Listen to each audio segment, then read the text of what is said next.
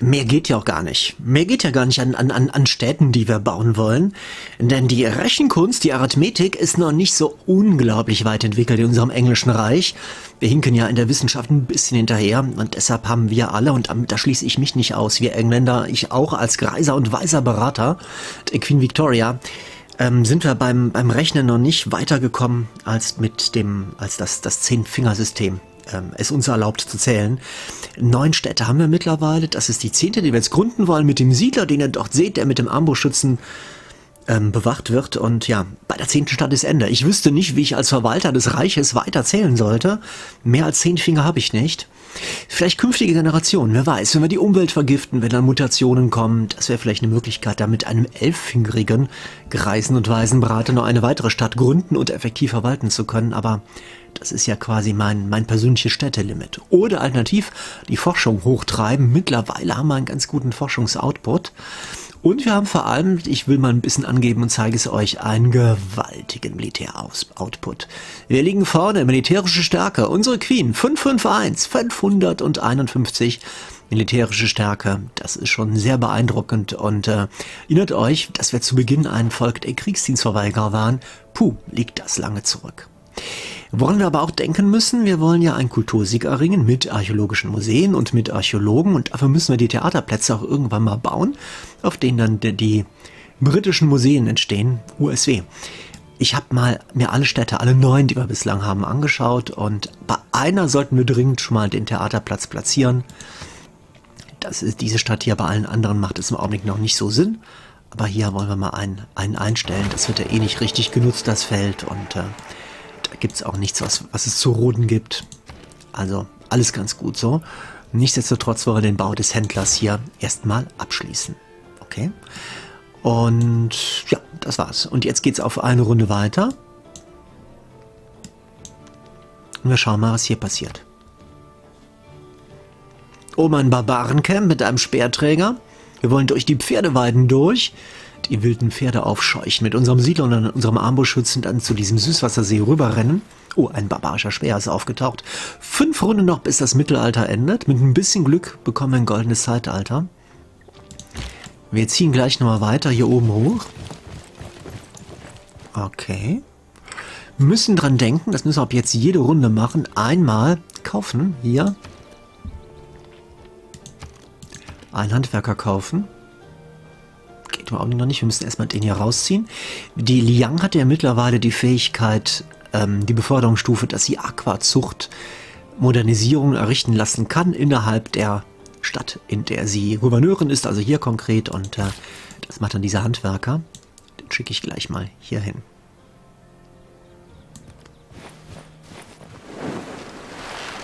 Jetzt können wir hier die nächste, den nächsten Handwerker kaufen mit dem Bonus, dem Goldbonus, den wir fürs den Kauf noch haben.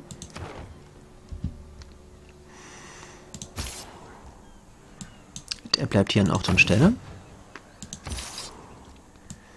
Der Schwertkämpfer zieht hoch und hilft ihnen hier gleich beim Vertreiben der Barbaren.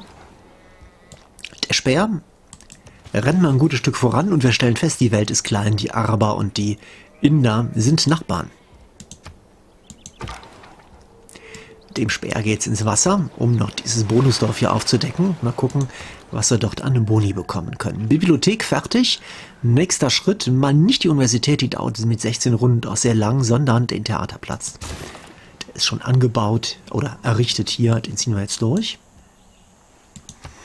Liverpool, Wohnraumprobleme, das kann passieren. Produktionsbonus sollte aber nicht so den großen Unterschied ausmachen. Oh, hier können wir schon einen Theaterplatz hinstellen. Nee, das geht aber nicht. Wir haben nicht genug Bevölkerung, genau. Ja. Okay, hier haben wir ja schon ähm, die Beschleunigung durchgeführt des Handwerkes, also eine Runde weiter. Immer gucken. In fünf Runden endet das Mittelalter, dass bis dahin alle Handwerker gebaut, beschleunigt haben. Beschleunigt haben. Denn das ist ja bis dahin noch preiswerter.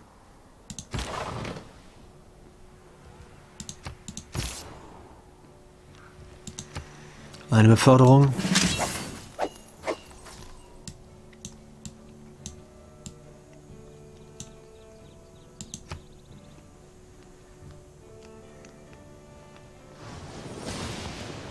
Hinduisten und Islamisten. Immer diese Isten balgen sich um die religiöse Vorherrschaft das ist uns sowas, das ist mir sowas von Schnurz und Piepe. Wir haben uns ja zum, ähm, wir wollten ja eine Religion gründen und durften nicht und sind jetzt deshalb aus Not Atheisten. Nein, wir haben ja unser Pantheon, das wir verehren, die Steinbrüche. Attacke des Speerkämpfers, der aus seinem Barbarendorf rauskommt, aus seinem Barbarenlager. Verpacken und in Masse produzieren kann, ist weder wahr noch Kunst. So, wir können Schiffswerften auf die Royal Navy Werft draufsetzen, wo schon ein ein Leuchtturm stand, bekommen dadurch mehr Gold, mehr Nahrung und einen Produktionsbonus. Falls wir einen hohen Goldnachbarschaftsbonus dort haben, haben wir meistens. Das finde ich schon mal sehr verlockend. Und das Weltwunder ignorieren wir noch. Hier splitten wir das, äh, machen wir die beiden mal auseinander, nehmen uns unseren Siedler, ziehen hier hin und gründen unsere nächste Stadt und hoffen, dass uns das nochmal einen Zeitalterpunkt bringt. Drei fehlen uns für die nächsten vier Runden, um ein goldenes Zeitalter zu bekommen. Bringt uns das Zeitalterpunkte und wie viele? Drei! Ja! Portsmouth ist die neueste Stadt unseres wachsenden Reiches und andere Zivilisationen beäugen sie voller Bewunderung. Und das bedeutet, 65. Wir haben ein goldenes Zeitalter geschafft. Allein dafür hat sich die Rekrutierung, hat sich die, der Bau dieser ähm, Stadt hier gelohnt. Und ein Dankeschön an alle von euch, die mich daran erinnert und gemahnt haben, WB, zieh rüber und bau da eine Stadt. Ich glaube, ihr hattet das jetzt nicht im Auge mit den Zeitalterpunkten, aber ähm, auch so macht das ja Sinn, dass ihr mich da rumgescheucht habt. Hier ist prompt ein Schwertkämpfer entstanden. Ihr wisst warum? Das ist ja die Pax Britannica, der ähm, Bonus unserer Queen Victoria, wenn wir auf einem fremden Kontinent eine Stadt errichten, bekommen wir eine kostenlose Nahkampfeinheit und äh, das, davon, können wir, davon haben wir dann sofort auch Nutzen. Ähm, hier können wir noch eine Beschleunigung, können wir hier direkt reinziehen? Nein. Wir ziehen mal eins vor.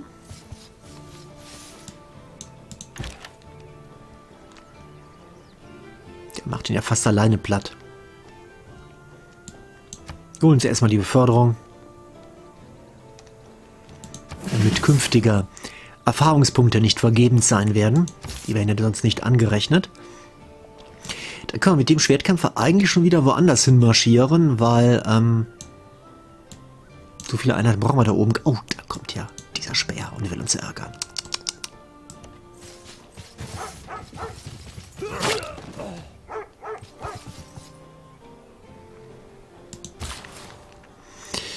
So, hier können wir das erste Mal überhaupt eine Fischzucht errichten und machen das. Machen das aber erstmal hier eins weiter raus. Wir wollen ja nachher da oben hinziehen und wollen die, die, ähm, die Punkte hier nicht verschenken. So sieht die Bewegungspunkte, so sieht eine Fischzucht aus. Aha. Vier Nahrung. Wow. Wow, wow. Und warum vier? Direkt neben einer und Bonusressource gelegen und weil wir einen Leuchtturm haben. Und weil hier, es ist einfach fantastisch. Das ist echt glorreich. Wie gut, dass wir ein Aquädukt produzieren, wir wüssten sonst gar nicht wohin damit. Mit unserer Nahrung. Der nächste Handwerker ist fertig und den wiederum schicken wir dann mal hoch hier oben hin, um zu roden. Damit wir schneller das Aquädukt fertig haben. Hier können wir jetzt wiederum den nächsten Handwerker rekrutieren. Dank Liang mit einem extra Aktionspunkt. Händler fertig. In Jerusalem hat seinen Weg beendet. Den schicken wir. Ähm ne, der ist noch entstanden. Der ist ja gebaut worden, ne? Genau. Ähm, also nach London ist ja anscheinend schon jemand unterwegs. Dann schicken wir den natürlich nach äh, Portsmouth und von Portsmouth aus in Richtung London. Damit die Stadt blüht, wächst und gedeiht und massiv an ähm, Nahrung und an Produktionsbonus durch diese interne Handelsroute bekommt. Stadtmauer lassen wir erstmal weg. Wir kaufen, können wir uns ein Monument kaufen? Können wir. Wir denken aber erstmal an die Handwerker, die wir brauchen. Ähm, das hat noch Zeit. Wohnraum ist groß genug. Wir können einen Kornspeicher bauen, denke ich mal. Also den müssen wir nicht kaufen gleich. Stadtmauer, ja. Kann man ja auch nur kaufen, kann man ja auch nur bauen.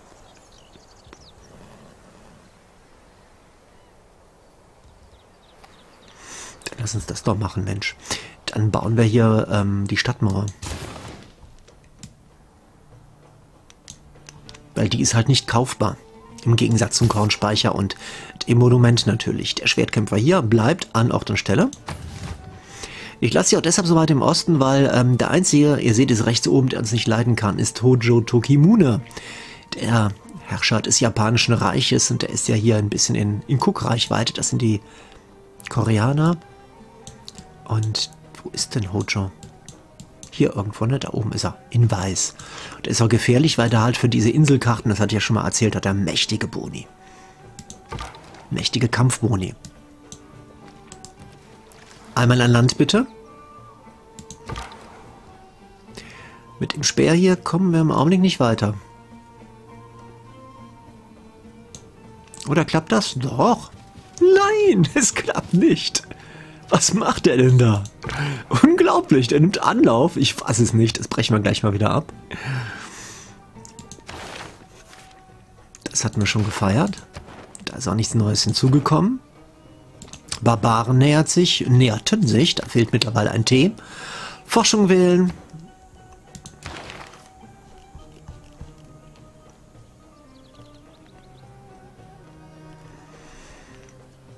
Mehr Gold durch Steinbrüche, das macht Sinn. Wir haben doch Unmengen an Steinbrüchen.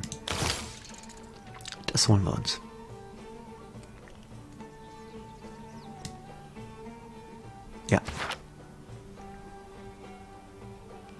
Nur über den Steigbügel.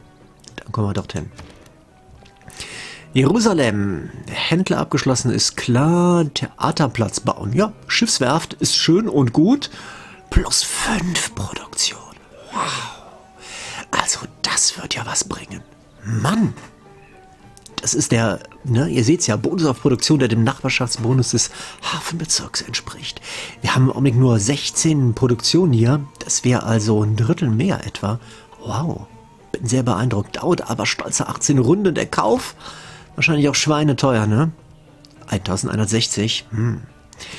Dann der Bau des Theaterplatzes. 15 Runden, ne? Dann machen wir es anders. Dann bauen wir tatsächlich eine Schiffswerft. 18 Runden. Na, wollen wir gleich nachher ein bisschen roden.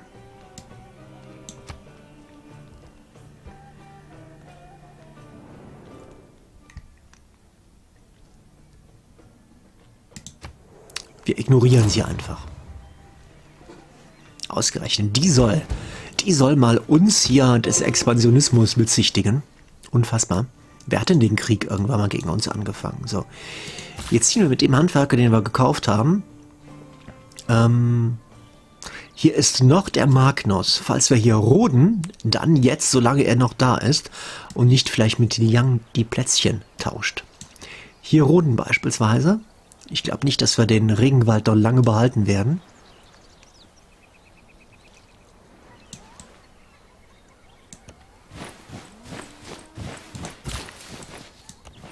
So, jetzt sind wir, bevor ich es vergesse, hier kaufen wir jetzt natürlich ähm, nochmal einen Handwerker.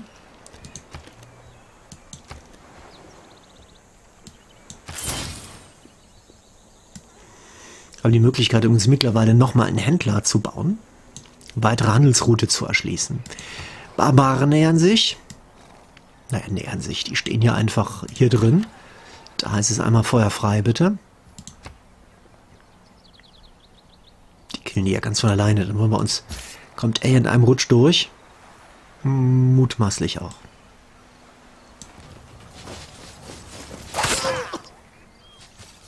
Nein.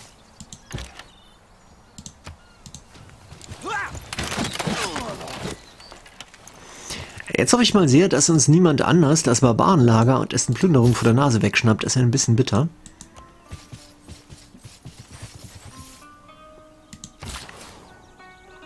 So, hier wollten wir ein Theater errichten. Im Augenblick wird hier ein Aquädukt gebaut. Da fehlen uns noch um die 70.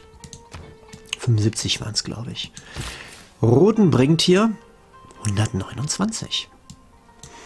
Sicherheitshalber mal check, ist das Feld auch tatsächlich unserer Stadt zugeordnet? Nein. Ja, dann wollen wir uns das mal holen.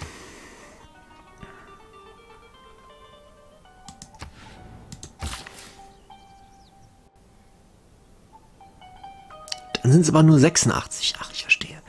Der Rodungsbonus war wegen Magnus. Weil der die plus 50% bringt. Gibt es ein Bauprojekt, das wir hier beschleunigen wollen? Wir könnten ja sehr schnell eine Universität bauen. Die Schiffswerft plus 3 Produktion nur. Wir haben plus 24. Hier ist der Bonus nicht ganz so groß. Oh, im Regierungsplatz ähm, Platz können wir ein weiteres Spezialgebäude bauen. Was bringen die uns denn? Also ich habe auch hier den Theaterplatz nicht vergessen, aber noch können wir keinen bauen. Es fehlt uns an Bevölkerung. Außenministerium bringt Ausheben von Militär in Stadtstaaten kostet nur halb so viel Gold. Also ist alles ganz gut. Bei allen kriegt man einen Gouverneurstitel übrigens. Ist alles ganz gut, wenn man viele viel auf Stadtstaaten setzt. Für uns mäßig interessant. Geheimdienst. Ähm, stärkt uns bei der Spionage und das wiederum hilft uns vor allem auch bei der Gegenspionage und ähm, das finde ich ganz praktisch. Dann Kapelle des Großmeisters für uns komplett uninteressant. Glauben ist uns ja vollkommen äh, egal. Also der Geheimdienst, den zu beschleunigen und den extra Gouverneurstitel dazu zu bekommen, ähm, das finde ich gut. Also das könnten wir uns einstellen. Alternativ die Universität wegen der plus 4 Wissenschaft. Das wären immerhin fast 5% mehr Wissenschaft. Irgendein Weltwunder, das uns anlacht und sagt, wie, du brauchst das. Ihr braucht das für einen Kultur- oder einen Archäologiesieg. Von denen, die ihr möglich. Oh, Alter, drei Gouverneursbeförderung. Ja, cool, aber 35 Runden. Nein. Nein. Also dann schreit alles tatsächlich danach, Geheimdienst hier zu bauen. Das geht ja auch nur hier. Wir haben ja nur einen Regierungsplatz, also das macht schon Sinn. Und das bringt uns wie viel? 290 brauchen wir dafür.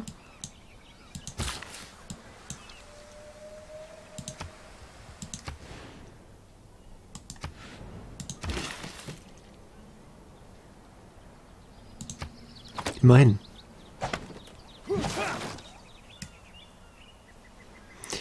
Und jetzt wiederum können wir hier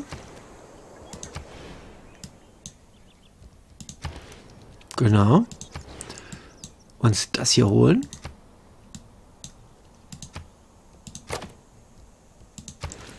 Und schon mal einen Theaterplatz dort platzieren.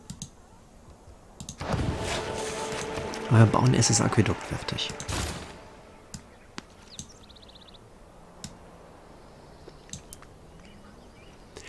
Ein weiterer Händler, den holen wir uns nachher. Den Handwerker, da haben wir dran gedacht, alles klar und weiter. Der Handwerker hier errichtet jetzt auch noch hier eine Fischzucht. Der Enter ist hier angekommen, rennt rüber nach London, plus drei Nahrung, plus vier Produktion, wow. Und zwei Gold obendrauf und dadurch sollte die Stadt sehr schnell wachsen. Das ist echt eine super coole Geschichte und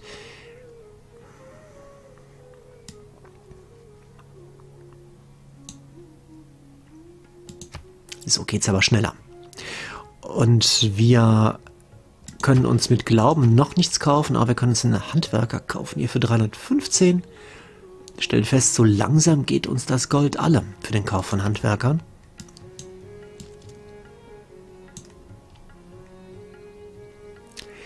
Es sind noch drei Runden, also zwei eigentlich noch, in denen wir die kaufen können. Das kriegen wir hin, zwei Käufe. Da haben wir einen Kauf hier oben. Einfach weil wir hier an Ort und Stelle ja auch einen brauchen. Und einen Glauben. Einen mit Glauben kriegen wir auch noch hin. Übernächste Runde. Das klappt haargenau. Punktlandung. Oh, mal schauen, was das hier bringt. Oh, cool. Heureka. Belagerungstaktiken. Schießpulver auch noch. Unfassbar. England wagt sich in Gewässer, die zuvor nur wenige erblickt haben und umsegelt die Welt. Und das schafft man sogar auf dem Landweg mit unserem Speer. Nein, ganz im Ernst. Wir haben bewiesen, dass die Erde keine Scheibe ist, sondern zumindest bei Civ 6 ein Globus. Bekommen drei Zeitalterpunkte dazu oder wie der kultivierte und zivilisierte Zimmer zu sagen pflegt, drei Zeitarbeiterpunkte. Die Veteranen auf diesem YouTube-Kanal wissen, warum ich das sage. Und äh, die, die es nicht wissen, mögen die Veteranen fragen und die erklären das sicher gerne in den Kommentaren. Sehr schön. Weltumsegler, Weltspaziergänger. Einmal drumherum gekommen. Da wollen wir mal schauen, was hier liegt. Bernstein. Damit haben wir tatsächlich stolze 68 Punkte und drei mehr als wir brauchen. Echt traumhaft. Hier sind Barbaren. Wir waren Barbaren. Okay, Händler müssen wir dran denken. Verschiedene Booster bekommen. Und Saladin hat Kotokuin abgeschlossen, das Weltwunder, bei dem ich ja wieder nicht auswendig weiß, wozu es gut ist. Es sind einfach zu viele Weltwunder im Spiel. Oh, schaut euch das mal an ein weiteres Weltwunder, das im Bau ist.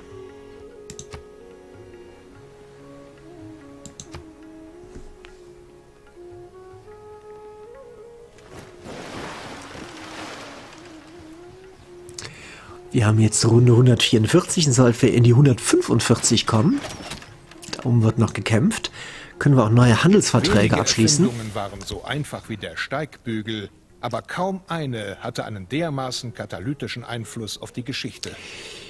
Die haben uns geholt die Forschung auf dem Weg zum Bankwesen und zu mehr Gold durch die Steinbruchmodernisierung plus zwei. Wir sind jetzt bei Runde 145, kennen dadurch auch das ein oder anderen, den ein oder anderen an ähm, Handelsaktionen hier durchführen. Hier müssten wir eigentlich doch hinkommen. Ja, das geht. Wir müssen sogar hier unten hinkommen. Oh, schön, interessant. Und hierhin auch. Ja. Und jetzt wollen wir mal schauen. Wir haben mit ähm, Sondok, da hatten wir bislang Bernstein vertickt. Und wir hatten ihr außerdem noch Gewürze verkauft. Mal schauen, ob das noch möglich ist jetzt. Das ist jetzt ausgelaufen. Das sind die Gewürze. Bernstein hat sie mittlerweile selber und will von uns nichts haben. Läuft das denn überhaupt noch? Habe ich mich vertan? Mit der runden Zahl? Schauen wir mal hier oben in den Ressourcen nach und stellen fest,